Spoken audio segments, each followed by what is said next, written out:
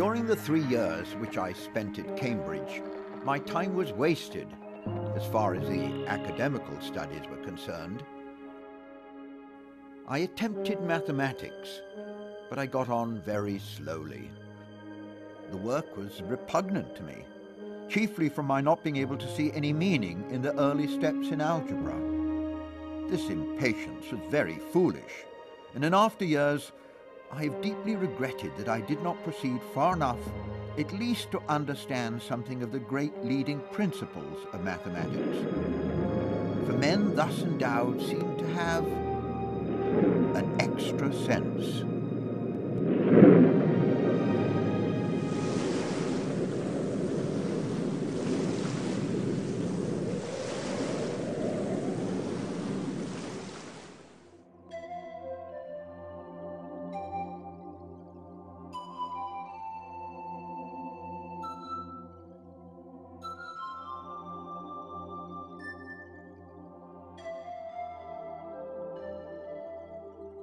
If you want to understand evolution, you have to understand the hereditary mechanism, how the um, properties of a child come from the properties of the parents of the child. Now, Darwin formulated his theories without any knowledge of the hereditary mechanism. Darwin thought that what happened was that whatever your parents contributed blended together to form some intermediate or some combination of your parental values. The problem is, if you think about if all your traits are being blended together, what's going to happen to a new variant that comes into the population? Because it's always getting blended with all the other variation in the population, it's going to be swamped. It's going to be lost very quickly. It's going to be blended away. Now, you cannot have survival of the fittest if everybody is exactly the same, if there's no variation. If we're all completely identical, none of us is more fit than any other person, and so you will not have Darwinian evolution by natural selection of the fittest. It took some time for the significance of Darwin's theory to be realized. It was Gregor Mendel, an obscure Moravian monk, who saved Darwin's theory from the dust heap of intellectual history. Gregor Mendel was a student of mathematics at my alma mater, the University of Vienna. Note, he was a student of mathematics. He was a brilliant a mathematician as a student, um, but he couldn't become a scientist because he failed botany. He failed botany twice, and then sort of he had to look for other ideas, and he became a monk. And as a monk, he had the possibility of continuing scientific research. He worked in the monastery garden, and he did various experiments with crossing peas. He would take uh, two different types, for example, yellow and green, and he would mate them. He would cross them, and he would, observe, he would observe the ratios of yellow and green in the offspring. And those ratios turned out to have very, very interesting mathematical properties. Often you got three to one ratios in the offspring, for example, three yellow to one green.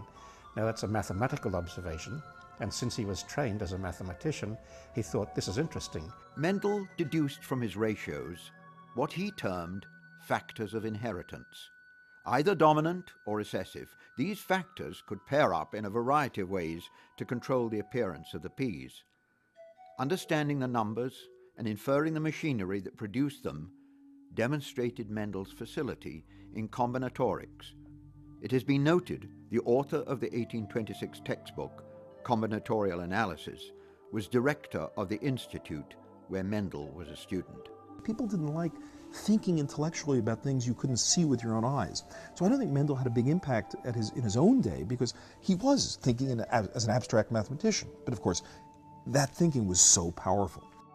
What Mendel's important discovery was is that heredity is based on particles rather than on continuously mixing substances, that it's particulate. With Mendelian inheritance, you don't lose variability. Remember, no evolution without variability. If, if a population has no variability, there is no difference to be selected, and so evolution is impossible. Mendel came along and took what was a hopelessly complicated problem, and by stripping it down to a few basic rules, found the single most important discovery in experimental biology the control of traits by individual genes. Darwin never knew about Mendel, but then when people put the two approaches together, Darwinian evolution and Mendelian genetics, it was again a mathematical effort And this was the birth of mathematical biology.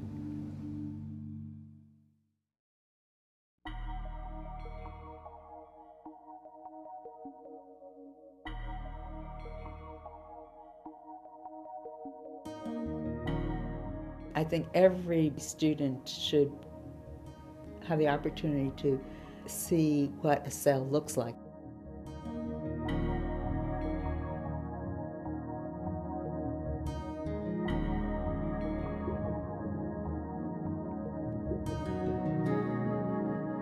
What is distinctive about biology is that the objects of biological study exist as a, as a product of evolution, of biological evolution. I think that is at the basis of the difference between life sciences and the physical sciences.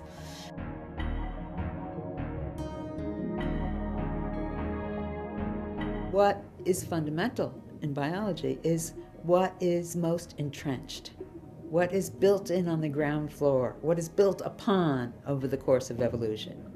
DNA is fundamental in that sense. It's not fundamental because it's hot or because it was early or because it's small. It's fundamental because on, on that invention, almost all other inventions were built. Not all, but so many others were built. Classical population genetics is prospective. Namely, what you're doing is you're trying to understand how a population changes over time, normally going from a present state to a future state right? So we're going with the direction of time. You make all these assumptions about the nature of the biological system. And those assumptions allow you to build a fairly simple mathematical structure to predict how many copies of a particular kind of gene in this generation will turn into how many copies of that gene in the next generation. So that's both a statistical and a mathematical process. With molecular data in the 1980s, new techniques were invented that were called retrospective. If you have a theory uh, of evolution going forwards in time, in a sense you just look at the mirror image of that theory going backwards in time. And that theory tells you that after a certain time and with a certain probability, you can expect uh, the genes which you carry and the genes which I carry to coalesce, that's to say, to be descended from some common ancestor. If you continue this process for everybody in the population, in the human population, or perhaps a sample of the human population, you will get coalescences taking place at various times backwards in the past, and eventually you'll have coalescence at what is called the most recent common ancestor.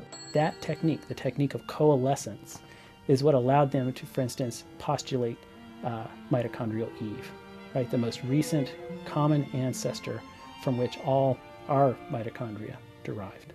To my mind, in terms of population genetics, that is probably one of the biggest innovations you're ever going to get. I mean, that changing the direction of time.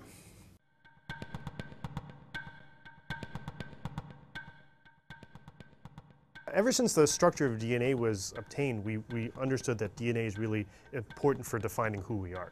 Um, it defines the proteins that eventually become us. Proteins are the fundamental building block of life. You look at any living thing really closely, all the work is being done, most of the work is being done by proteins running around, carrying out, executing life.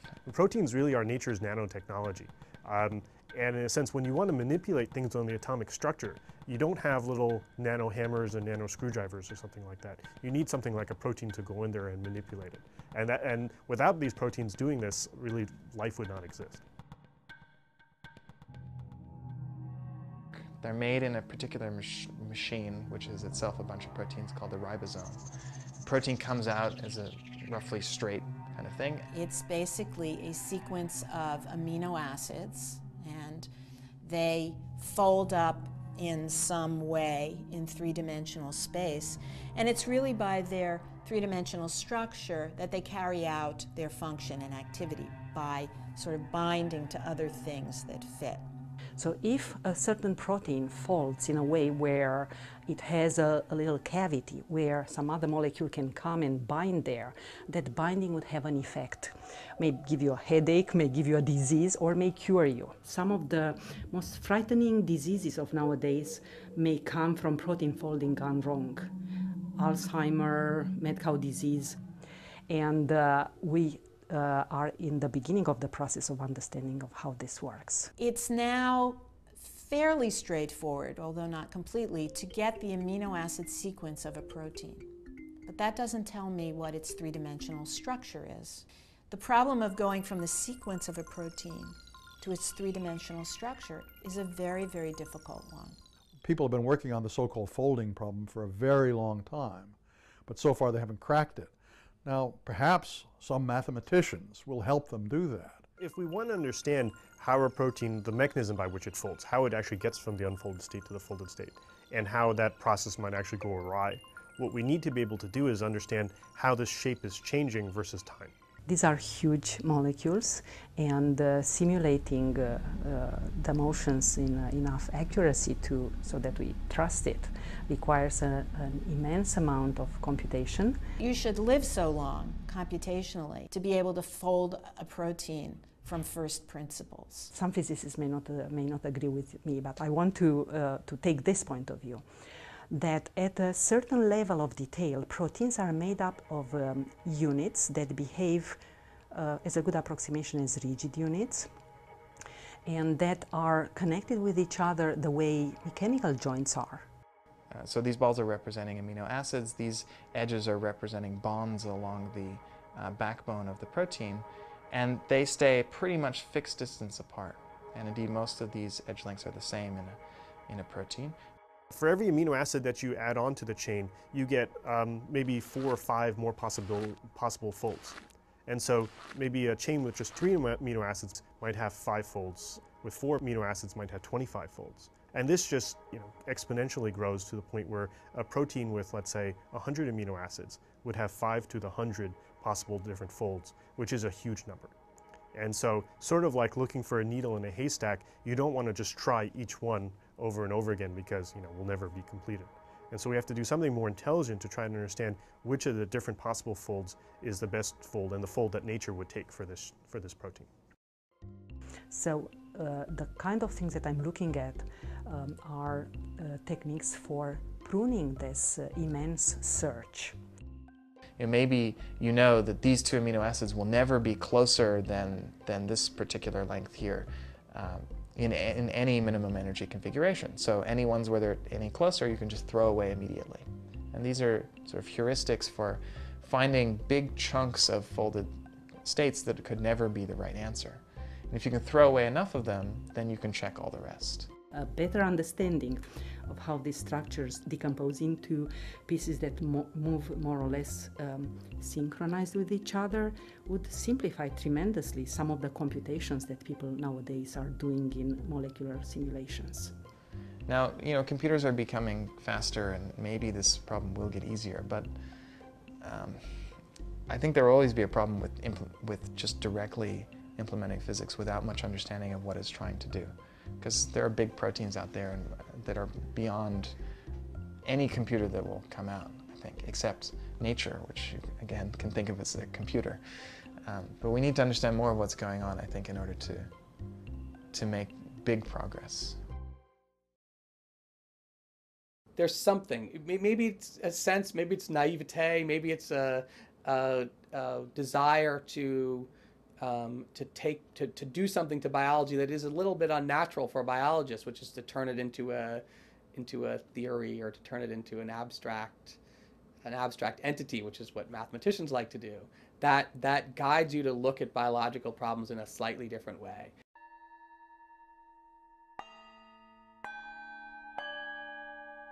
It's a very creative step of going from the question in your mind or the question written on paper in words to the question in mathematical equations. And that is a model. And the process of doing that is harder than it sounds, and that process is mathematical modeling. If you ask why model, the, the, the reason is the same reason I believe that the cave painters painted animals. At least it said, why, what, what were the cave painters doing? Why were they painting these animals? Well, I don't know how we would know why they were doing it actually, but what people say about why they were doing it was that they had a magical belief that if they could represent the animals very well, that they would have control over them, that they could, if they could draw them accurately, then uh, they would be more successful in, in, in hunting. And uh, I think we, we, we model for the same reason. If we can, we've actually achieved this now. It's not a magical belief, but it's a, but it's a, it's a, it's a valid belief that if we capture the details, the important details of reality in a mathematical model, then we'll, it will give us, it, it, will, it will give us power. We'll be able to do things. And in particular, what we'll be able to do is predict the effects of interventions that we might make. I always tell my students when, when I teach them the beginner's modeling course, I, I remind them of Picasso's famous quote that art is the lie that helps you tell the truth.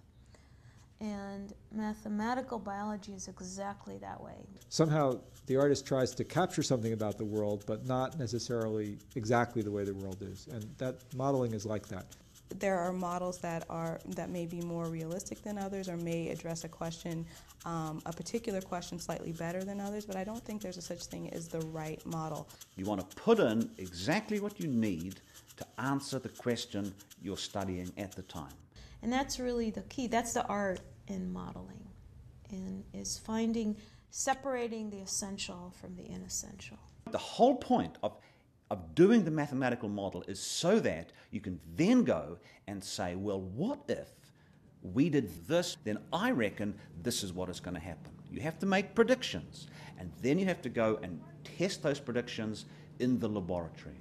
And until you do that step of making a prediction, checking the prediction, and doing further experimental work, which was motivated by your model, then your model hasn't been, been any help at all. To give an example of how I actually go about constructing a model, I'll use an example from chemotherapy. And so every, everyone pretty much knows how chemotherapy works. You're injected with a drug and it distributes throughout your body. Hopefully it kills cancer cells preferentially, however it also kills normal cells. So when I go to construct a model of novel chemotherapeutic strategies, I start with those basic things. We have the body, we can break it up into compartments, it's blood, it's the tumor, it's all the other tissues in the body. And I write down equations that tell me how things change from compartment to compartment. So there's certain rates that the drugs will leave the blood, certain rates that it will leave the tissue, certain rates that it's eliminated from your body through the liver. And so we write down rates of change for all of those things. And from that, we can make predictions about where the drug is getting in the body and where the um, whether the drug is really getting in the tumor more than it is in other tissues. And, and, and then we also try to get a little more specific and look at the spatial structure, especially of tumors, and to try to see what the barriers are to getting drug deep enough into a tumor to be useful. Mathematics has only been a, a, very strong part of biology in quite recent times because it's only in recent times that we've had powerful computers.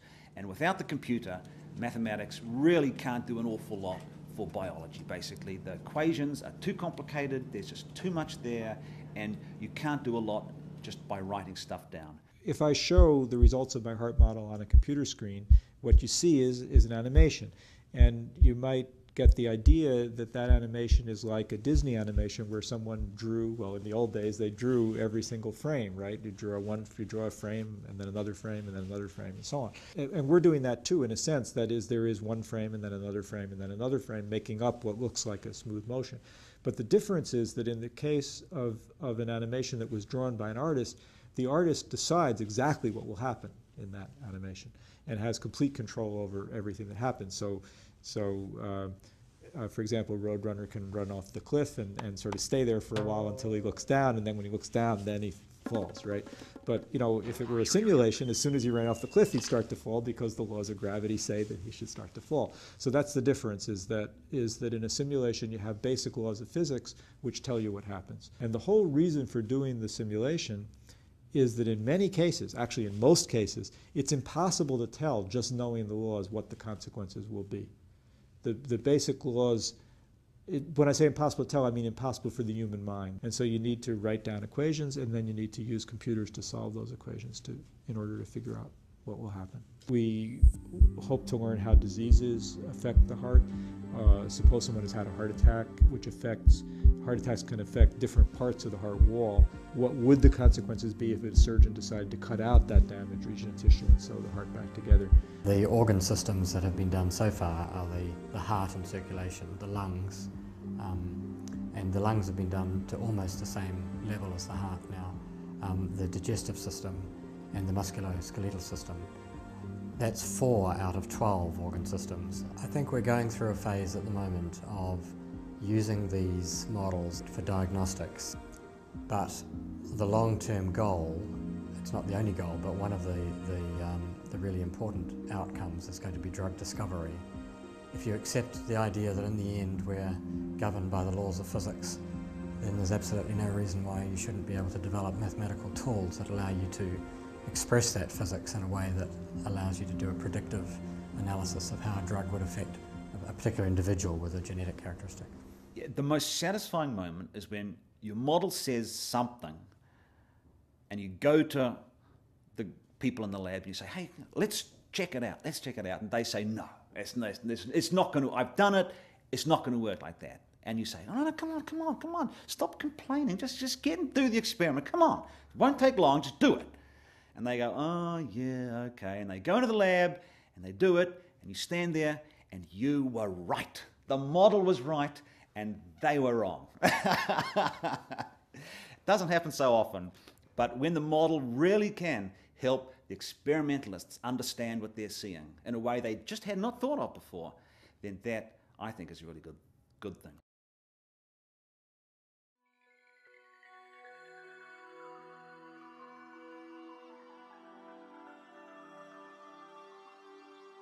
Population genetics has been an absolutely fundamental mathematical part of biology for 100 years.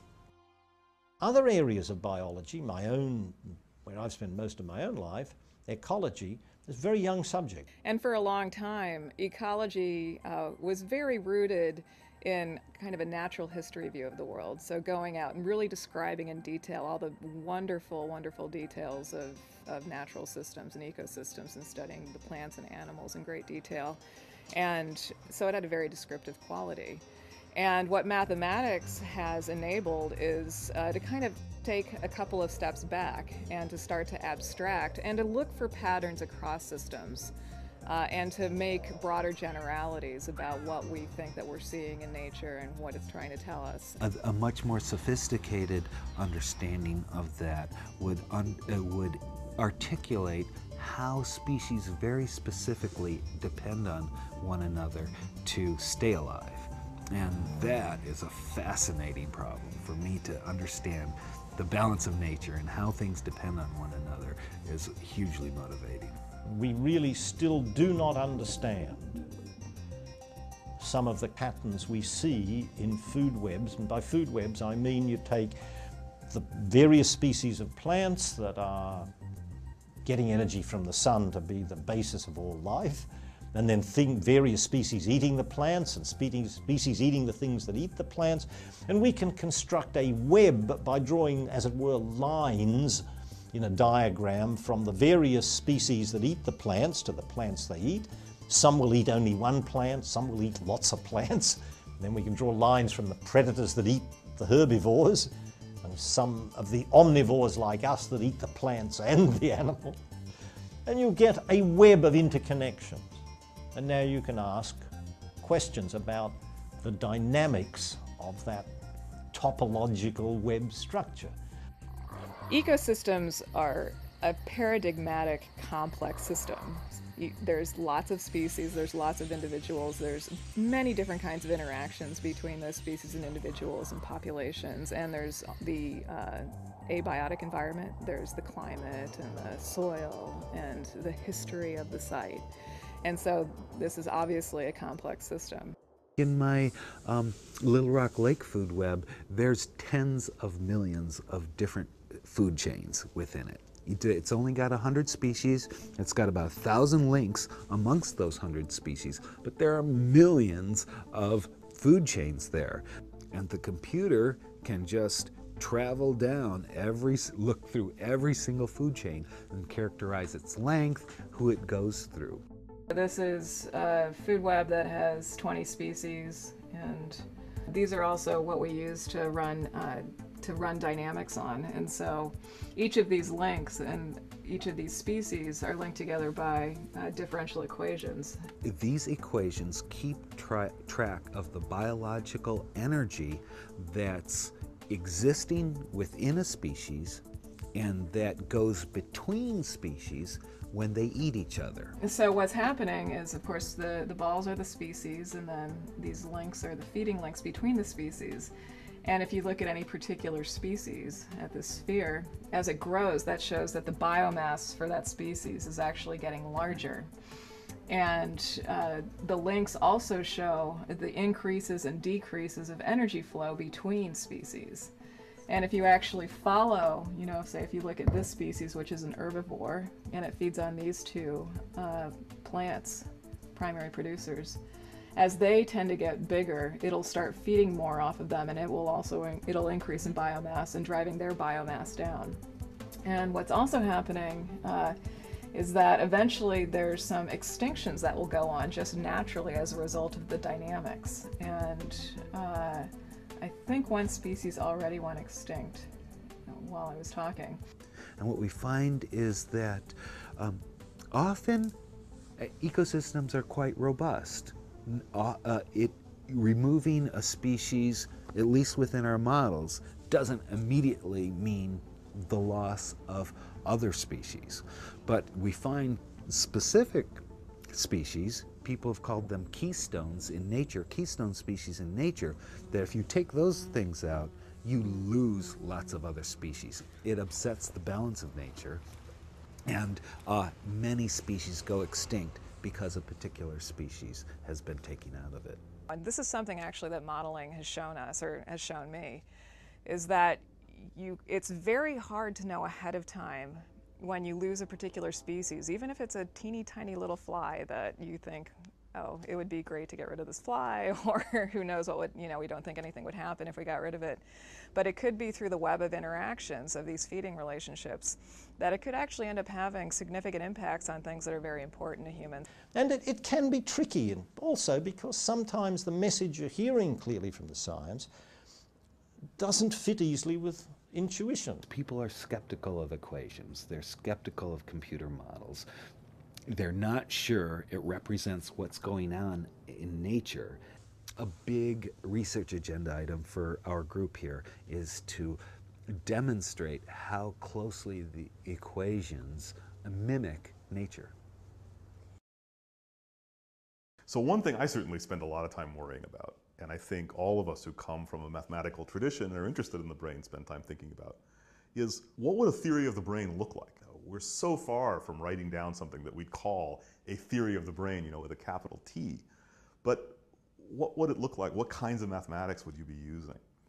And I think one of the real challenges comes from the fact that it's such a broad question.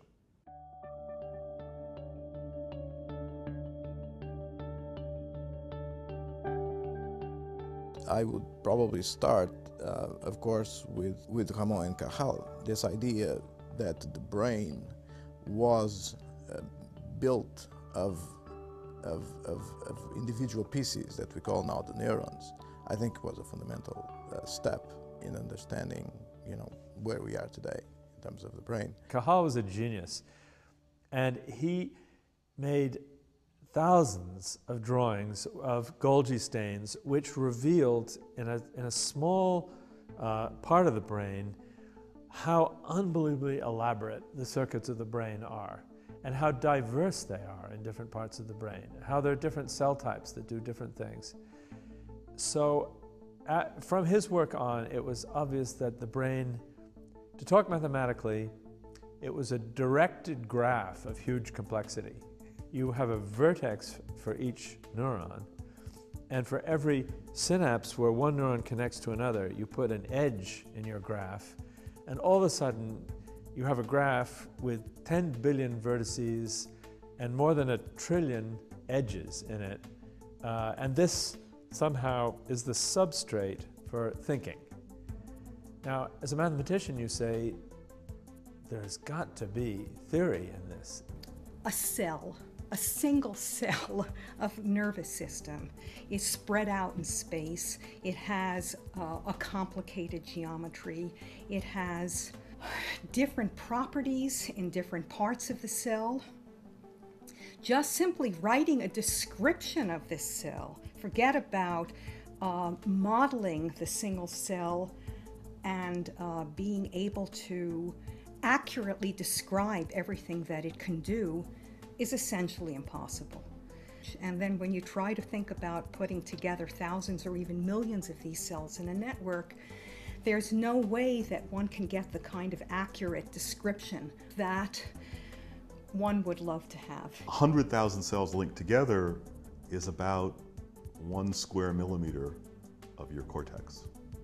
So it's a little tiny patch, you know, smaller than your fingernail. And that's 100,000 cells. So you can see that there's a big problem. So, what one needs in mathematics then is um, a kind of theory that's much more forgiving, but still tells you things that you didn't know before. There was a, a very famous paper of McCulloch and Pitts uh, in which they, they said that the neuron is acting like uh, a small element of a logical machine, of a computer. And they came up with the general idea that the brain was carrying out a computation uh, every millisecond, uh, that various neurons were firing, as it's called, they're emitting spikes and sending messages to other neurons, and that these messages are integrated by the different neurons in a way that was similar to the processing going on inside an electronic computer.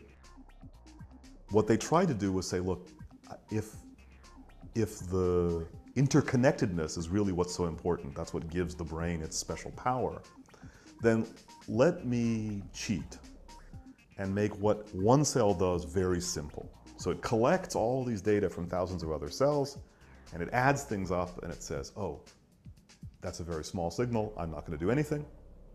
Or that's a very big signal, I'm going to make a pulse.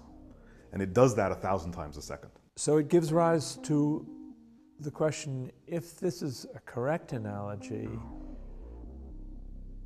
we, we need to pursue it and try, to, and try to pin down what kinds of messages are going back and forth inside the brain.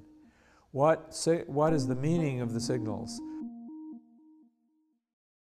It's simply impossible um, to understand um, how thousands or hundreds of thousands of neurons are interacting to produce a memory or process information um, without adequate mathematical models of those neurons. And, and, this is what we're working on with Jose Principe, is to develop um, these models of these neurons that closely correspond to our observations within the biological network. I think it's very important to find out what is the simplest system that we can study that where some of these properties still uh, can be quantified. If you're interested in studying neural computation, if you want to know how the brain computes, how it does what it does, how it can learn, how it can store information, um, you need a way to observe it, some way that you can you can measure the activity, right, and and um, do that over time. What we're doing is we're taking cortex from uh, embryonic rat, okay, and deconnecting it, right? So it's coming from an intact cortex and deconnecting it, putting it into a dish. It's reconnecting, it's forming its, its network again. And so essentially you've set it back developmentally a few weeks and it's going to redevelop into that network and all of this happens um, spontaneously they connect in ways that are very different from the ways that they would connect in the brain. But I believe that they are networks of processing elements. So we wanted a system where we could take one of these neural networks, interface it to a flight simulator, taking information about the position of the aircraft, whether the nose is pointed up or down, or whether the aircraft is banked to the left or to the right, and we translate that information into a series of pulses. The network is adapting to the stimulation pulses that you're sending in, and because of that adaptation, it's able to learn to fly the aircraft. In other words, to be an autopilot and fly the aircraft state, straight and level. To test it, what we would do is we would we would throw different weather conditions at it, and so it. In the end, um, we had to throw um, thunderstorms, hail, almost hurricane winds, uh, microbursts, whatever we could at it to get it, you know, to see how well it could um, correct for it. And in the end, it was it was able to correct for even that really bad weather as good as I could sitting there trying to get the thing to fly. But that said, you know, even a standard hardware autopilot that you'd find in a commercial aircraft, um, they're just as good. But again, the, you know, the idea is not to build an autopilot. The idea is to find out how does a network do it, and, and um, that's really the, the science behind it. You send in the pattern, you measure the output. You send in a different pattern, you measure the output, and you begin to manipulate those patterns and understand, you know, what the rules are for how this network changes over time. What the mathematics is after is insights about the way the bits and pieces of the nervous system are working together. And even if some fact about some cell turns out to be wrong, if the mathematics is done in a qualitative way, it can still give insights like if you have a cell that has this and that properties and you put them together, this is the kind of thing that you expect to see the system do. And so um, the work that you do may not pertain to what you developed it for, but it may be relevant to some other thing that uh, people discover tomorrow. We don't know yet what uses mathematics can be put to in biological sciences. We do know that there are some. We do know that there's a great need for it, but, but and we know that the uses are going to be different from the traditional uses of mathematics in other sciences. We see now a whole generation of young life science students growing up who are bilingual. They speak biology and they speak math. And that's so much more powerful than having to rely on translators to go back and forth. I really think that eventually mathematical, the mathematical way of thinking and the biological um, way of thinking will sort of coalesce and we'll all be able to sort of use each other to our best potential. When you've seen examples where you can really get things right by writing down the equations, you do look at the world differently. You, you perhaps get edge toward this belief that the world really is understandable. Whereas before we thought there would be amazing things we could do with it, it's now clear we didn't know the half of it. It's so much more powerful than we had ever hoped or ever realized. Uh, it's, it's a whole new biology.